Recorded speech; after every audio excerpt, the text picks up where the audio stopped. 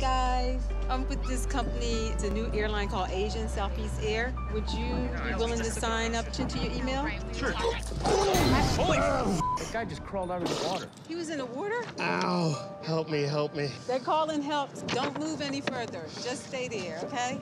You Angel? Is that your Uh, name? yeah, that is my name. Yeah, I'm working a promo thing. Yeah, me too. Working a promo thing with Asian Southeast Air? I was a week ago. But you weren't working right now, were No, I was in a plane. You were on a plane. They said if I sold 20 credit cards, they were gonna fly me to Hawaii.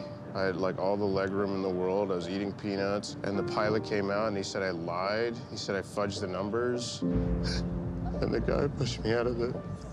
He pushed me out of the. I want to. I want to trust. I want to trust those people you're working for. I was you a week ago. Okay. There's no medical person around here? Angel, you saved my life. Okay, sit still. They tried to kill me. Sit down. I still have the. I still have these peanuts. You fell in the water. Why are you eating that? They cleaned up the East River. Do you want some Lexivan? No. It's the only psychoactive drug that's lemon lime flavor. Someone pushed you out the plane, you said? Yeah, I got pushed out of the plane. Lexivan, now in lemon lime flavor.